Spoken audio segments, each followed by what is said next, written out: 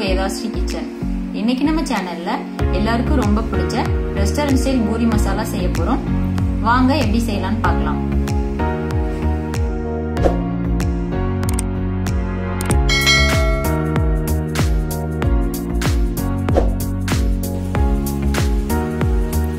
பூரி கிழங்கு செய்யறதுக்கு ஃபர்ஸ்ட் உருளைக்கிழங்க வேக வச்சுக்கலாம். நான் இன்னைக்கு மூணு உருளைக்கிழங்கு எடுத்திருக்கேன். இதை குக்கர்ல சேர்த்துட்டு ஒரு மூணு விசில் வச்சு எடுத்துக்கலாம்.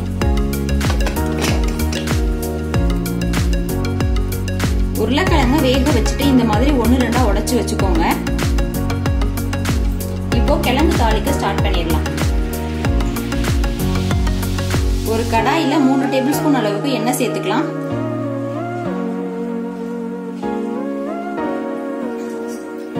எண்ணெய் சூடாயிருச்சு. இப்போ கடுகு உளுந்த பருப்பு சேர்த்துக்கலாம். ஒரு கால் டீஸ்பூன் அளவுக்கு கடுகு உளுந்த பருப்பு எடுத்திருக்கேன்.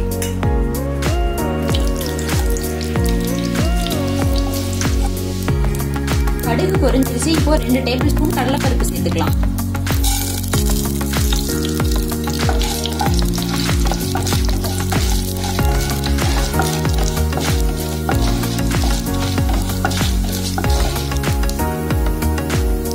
அடுத்தது ஒரு கொத்து கருவேப்பிலை சேர்த்துக்கலாம்.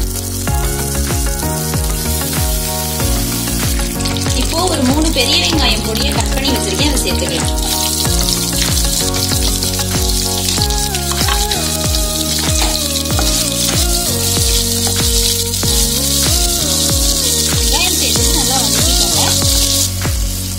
வெங்காயம் சேர்த்ததுக்கு அப்புறமா உங்களுக்கு காரத்துக்கு ஏற்ற மாதிரி பச்சை மிளகாய் சேர்த்துக்கோங்க. வெங்காயம் பச்சை மிளகாய் சேர்த்து நல்லா வதக்கிக்கோங்க.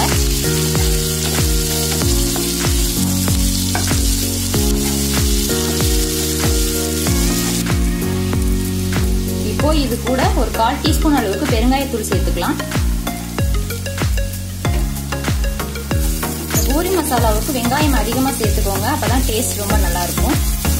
இப்போ வெங்காயம் நல்லா வதங்கிடுச்சு. இப்போ கிழங்கு சேர்த்துக்கலாம்.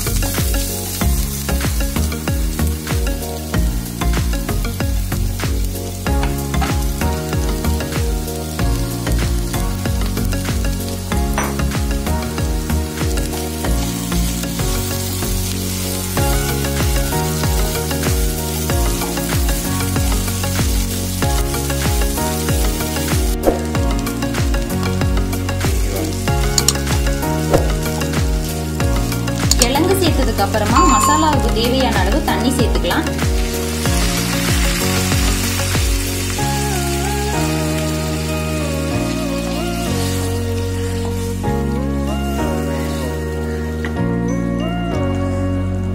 இப்போ இது கூட ஒரு கால் டீஸ்பூன் அளவு மஞ்சள் தூள் சேர்த்துக்கலாம்.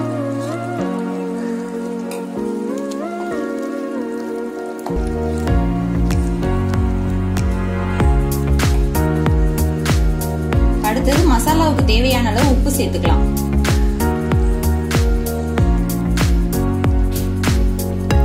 மசாலா நல்லா கொதிக்கட்டும். ஒரு ஃபைவ் மினிட்ஸ் க்ளோஸ் பண்ணி வச்சு கொதிக்க வைக்கலாம்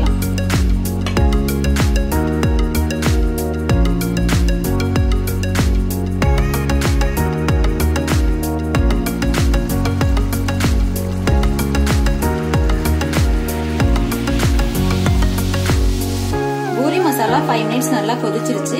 இப்போ ஃபைனலா கொத்தமல்லி சேர்த்துட்டு ஆஃப் பண்ணிடலாம்.